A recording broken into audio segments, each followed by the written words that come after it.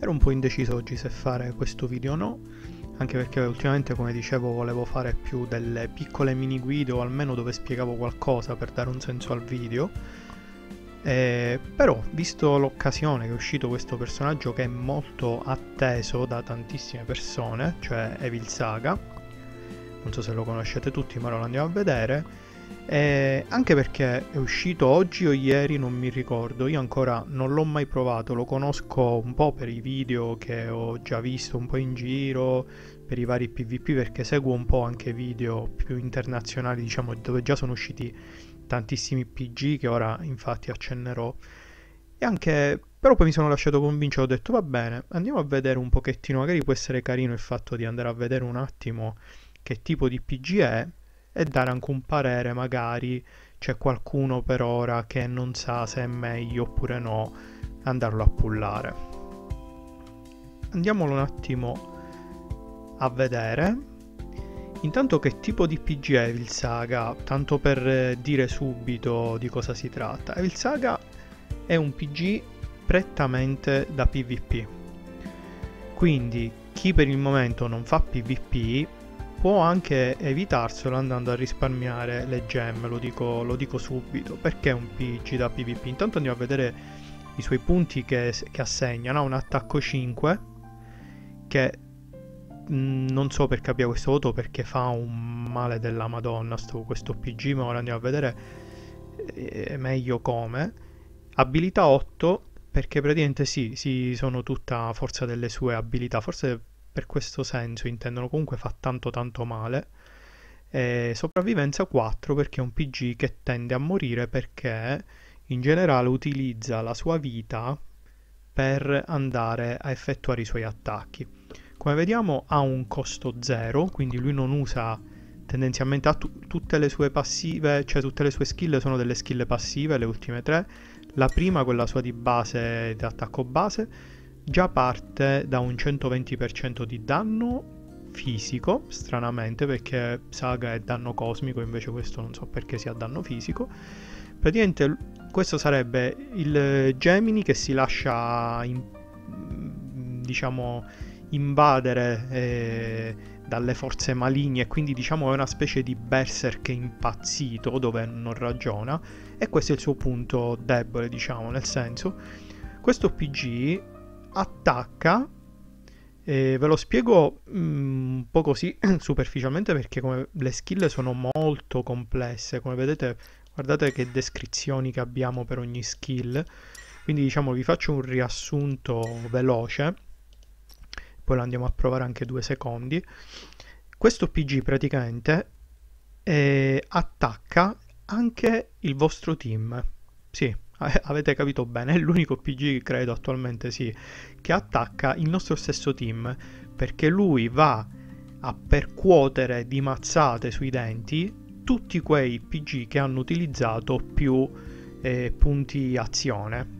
Quindi quando tocca a lui, il PG che ha utilizzato più punti azione, lui lo percuote e può anche killarlo perché fa molto male.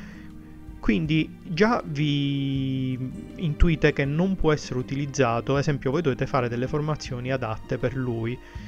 La skill che riguarda questo discorso,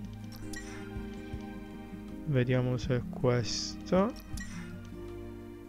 Ok, il massacro a sangue freddo. Massacra chiunque si trovi sul suo cammino. Il primo nemico che consuma un'energia, il primo alleato che consuma un'energia risvegliano l'istinto omicida di Gemini. Fa, fa ridere questa cosa. Dopo aver agito, Gemini attacca tre volte consumando un'energia. E quindi lui utilizza le energie per eh, fare le azioni. Se l'energia in quel momento non ne abbiamo, lui perde la sua vita, utilizza, attacca lo stesso, ma perde la sua vita fino a un certo punto. Comunque, se ha la vita troppo bassa, lui non attacca. Mi sembra il 25% di, di vita. Se il bersaglio non muore, Gemini perde il controllo e sfera, e sferra un'altra serie di attacchi, quindi lo percuote più e più volte senza spendere energia. Se il bersaglio è bandito uh, ah, in aria, come magari si può trovare in aria Pegasus eh, eh, Clotte Divina, e quindi se Pegasus non lo può colpire non, o non è sul campo, Gemini attacca un, un altro, quindi comunque uccide qualcuno.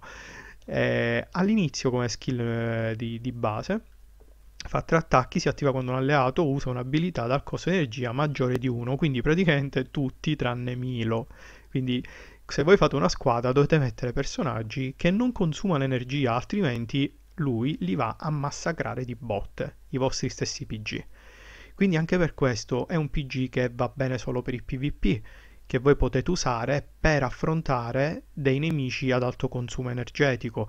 Quindi eh, lui è buono se il nemico ha Libra, se ha Aiolos che consumano 4 gemme, quindi praticamente li va a ammazzare appena si muovono, eh, o anche PG di, di, che usano 3 gemme ed è molto inutile da schierare contro un boss in PvE perché il boss non usa gemme, quindi lui praticamente tutta la sua rabbia la, la, la, la, sfogherà verso il nostro stesso team. È una cosa assurda, una cosa del genere. Quindi è un personaggio molto difficile da utilizzare, bisogna creare un team adatto a lui, bisogna stare attenti quando utilizzarlo perché si può ritorcere contro noi stessi. Tra l'altro va pure a bandire, presto disponibile, che è sto nome? Fantastico, presto disponibile, ok. Eh, vincola il nostro stesso alleato. Abbiamo delle skill che dobbiamo per forza far salire di livello perché se no nemmeno possiamo giocare. Per esempio questa skill attacca chiunque consumi troppa energia, siamo sempre lì, alla fine del turno Gemini scatena il suo istinto omicida contro l'unità che ha usato più energia, a parte se stesso, e ci mancherebbe direi. Se si tratta di un nemico lo attacca tre volte, infliggendo 160% di danno fisico a ogni attacco, quindi porca miseria, fa male. Se si tratta di un, di un alleato, semplicemente lo vincola per tre turni, cioè vi blocca i vostri giocatori. È assurdo, non è, non è accettabile una cosa del genere a livello 1. Quindi eh, per arrivare a vincola l'alleato solo per un turno direi che è una skill da portare almeno a 5 perché altrimenti oppure comunque dovete creare un team adatto a lui per non farvi uccidere da soli praticamente quindi morale della favola bene o male vi ho detto la sua utilità prettamente PvP e in pochissimi casi di PvE poi per carità in PvE potete pure utilizzarlo vi fate il team adatto però è rischioso da andare a utilizzare. Ehm, io l'avrei pure, cioè lo andrei pure a provare. Come sapete, tutti i PG, anche quelli che voi ancora non, non, non avete, possiamo provarli. Leggendario, mi sa che si trova qui, infatti io ancora non ce l'ho. Quindi, ovviamente, i legami eh, non c'è bisogno di dirli, penso che tutti li conosciamo, ogni giocatore ha dei legami particolari con, una, con altri giocatori che se li mettiamo insieme nella stessa squadra vanno ad aumentare la loro forza. Lui in, eh, entra in combo con Lady Isabel Micene, Micene Sagittario, Aiolos. Eh, oppure con Shin, Shin sarebbe Shion forse, Shion, e il sacerdote, Ade e Nettuno ad averceli, va benissimo. Eh, andando a cliccare qua su commenta, poi su Cosmo, lui ci dice un pochettino i cosmi, il classico consiglio sui cosmi. Vediamo dov'era. Qua lui ci suggerisce un team da poter utilizzare, infatti Radamantis non usa, non usa eh, gemme, eh, Jamian non ne usa, è l'unico healer attualmente mi sembra che non usi gemme, però già lei ne usa uno, quindi se non skillate, andiamola a provare, anzi qua ci dà una descrizione, Kiki di questa formazione, Kiki genera energia per Gemini malvagio, perché comunque dobbiamo generarla perché lui comunque la usa l'energia, altrimenti muore da solo come un cretino. Eh, Nemes, Isabella e Damien proteggono i due picchiatori principali. Gemini Malvagio genera energia per Radamante. Gemini Malvagio genera energia per Radamante con i suoi colpi critici. Ah, ok, perché lui facendo i critici aumenta la skill di eh, Radamante che ha bisogno dei critici, danni critici eh, questa formazione da fine partita non si affida alla velocità. Questa formazione per il PvE è un 4 stelle, per il PvP pure, quindi diciamo lui ci fa una formazione che bene o male è utilizzabile per un po' qua e un po' là, quindi diciamo non è ottima per nessuno delle due cose, secondo me. Diciamo tanto per, tanto per provare. Però, ora che ci penso, questa prova che loro ci mettono in campo sicuramente non ci permetterà di capire il reale funzionamento di, di Evil Saga perché in questa eh, prova lui ci mette, in questa prova noi siamo immortali come sappiamo, lui ci mette contro dei nemici che non utilizzano punti skill, quindi vediamo intanto il fantasmino che, no, che alezza qua nell'aria perché lui aspetta che qualcuno utilizzi una skill. Quindi Kiki non consuma energia e resta tranquillo. Appena io con un personaggio utilizzo già un punto, mettiamo per esempio l'invulnerabilità qua, eh, l'immortalità a Evil Saga, e Isabella è la prima che usa una skill. Vedete che il fantasmino gli va addosso. Poi io ne uso un'altra con Jun. Quindi il fantasmino potrebbe anche cambiare. Poi io non uso più punti azione. Va bene per attaccare con il radamante non ne uso. Per attaccare con lui ho solo questa mossa che fa molto male. Comunque fa critico fa tanti critici quindi ottimo il radamante. E a fine turno Saga mi blocca Isabel perché è una, la prima che ha utilizzato un punto azione come vedete non si, può, non si può giocare così perché veramente mi va a bloccare i miei stessi giocatori se l'avversario non usa skill come in questo caso. Quindi il funzionamento già è, è questo, non possiamo vedere altre cose perché giusto giusto in questa formazione non hanno i nemici punti azione per far vedere. Comunque fa tanto danno. Quindi tirando le somme con Saga conviene pullarlo? Eh, se siete alle prime armi e se soprattutto non fate PvP no, perché è un personaggio da usare in PvP, se fate PvP a livelli alti sì, dovete pullarlo.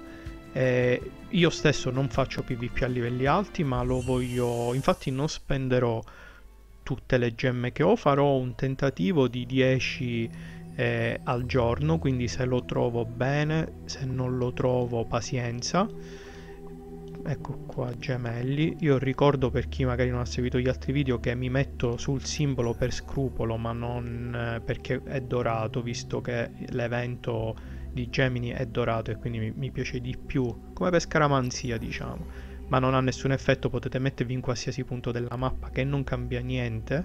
Le percentuali sono sempre quelle quindi evochiamo, buttiamogli le nostre 10 al giorno, non di più perché ne ho poche, se ne avessi avute tipo centinaia magari ne avrei fatte 40 al giorno, ma 10 ci bastano.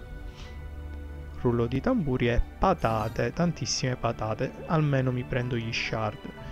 10 al giorno, come ho già detto tantissime volte, così mi posso andare a recuperare i bonus dei 10.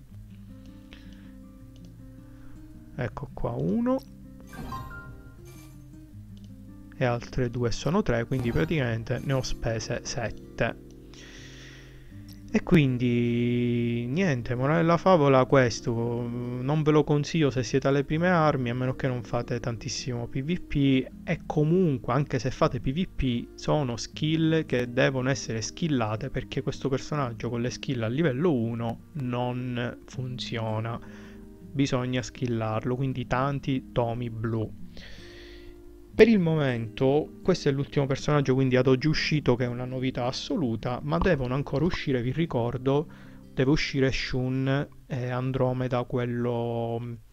Eh, Andromeda Ade, non mi viene ora il termine, Andromeda quando si trasforma in Ade, quindi sarebbe un'altra versione di, di Ade, quindi deve uscire Papillon, Papillon come si, si dice, Atena, doppia S e deve uscire anche Sirio Godclot. Sono tutti questi personaggi fortissimi in c'è chi più chi meno in PvP.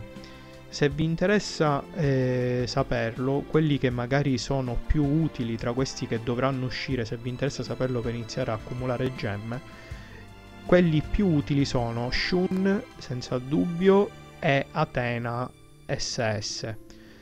E questi due personaggi sono utilizzabili, sono fortissimi in PvP e molto utili, fortissimi anche nel PvE. Quindi per una persona come me che fa tutte e due, questi sono i due personaggi che ambisco di più.